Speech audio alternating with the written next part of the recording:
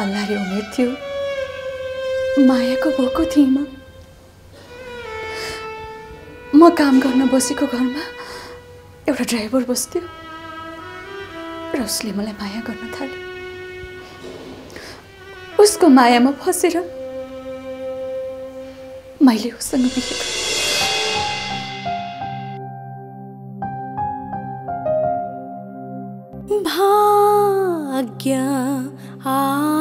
अपनो भाग्य आपनों